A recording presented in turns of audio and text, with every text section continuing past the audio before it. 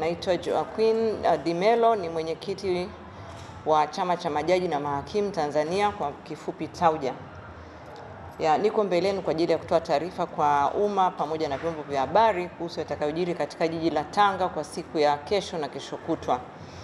Chama cha majaji na mahakimu Tanzania TAUJA kitafanya mkutano wake mkuu wa 11 jijini Tanga katika hoteli ya Tanga Beach Resort tarehe 16 hadi 17.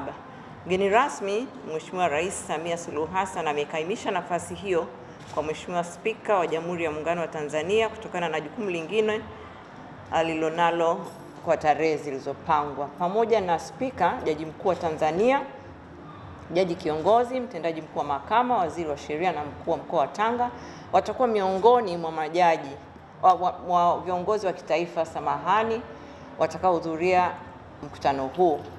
Wanachama wanawake majaji na mahakimu takribani mia mbili na sabini wamejisajili kuhudhuria mkutano huu, achilia mbali wadau wetu wengine majaji wanaume ambao wengi wao wamekuwa wakufunzi wa mafunzo tunayotoa. Kwa tarehe kumi na saba tutakuwa na mkutano wetu wa ndani, kwa maana ya kwamba mkutano mkuu wenyewe wa chama, ambapo pamoja na mambo mengine tuta chagua viongozi wetu kwa muhula mwingine wa mwaka 23 hadi 25. Katiba yetu inafanya mikutano hii kila baada ya, ya miaka miwili.